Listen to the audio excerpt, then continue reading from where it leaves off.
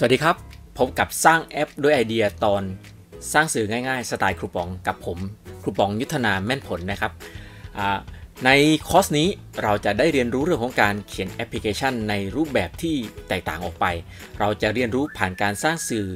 บทเรียนสำเร็จรูปในการพัฒนาแอปพลิเคชัน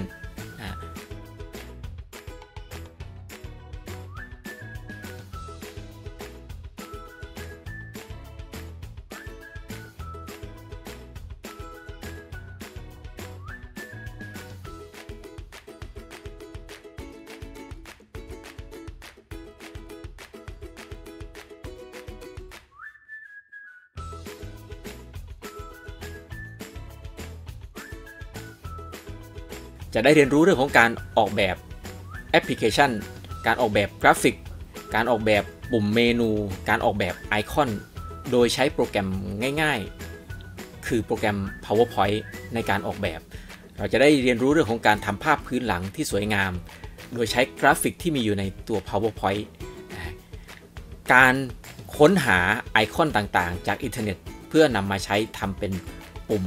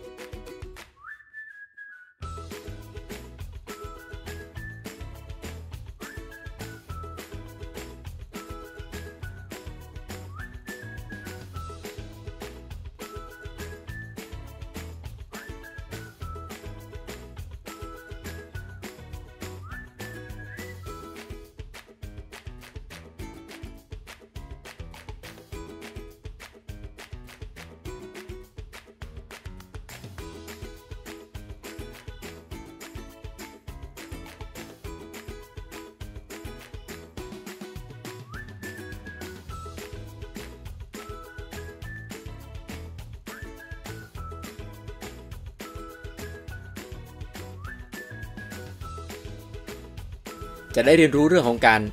สร้างแอปพลิเคชันนะแล้วก็สร้างเนื้อหาต่างๆ ในหน้าเนื้อหาก็จะประกอบด้วยหน้าต่างๆ เราสามารถที่จะปัดหน้าจอ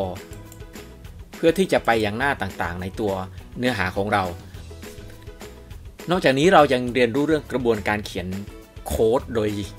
ลากเป็นบล็อกมาวาง เราจะเรียนรู้เรื่องของการลากบล็อกมาวางต่อต่อต่อ ต่อต่อกัน เพื่อให้เกิดเงื่อนไขต่างๆ ที่เราต้องการช่วยให้แอปพลิเคชันของเรามีความสลับซับซ้อนนะทำให้เราเนี่ยเกิดไอเดียเกิดการพัฒนาการในการเขียนโปรแกรมมากขึ้น เข้าใจวิธีการเขียนโปรแกรมมากขึ้น รับรองครับว่าคอร์สนี้จะเป็นคอร์สที่สนุกสนาน แล้วก็เต็มไปด้วยความท้าทาย แล้วเจอกันครับ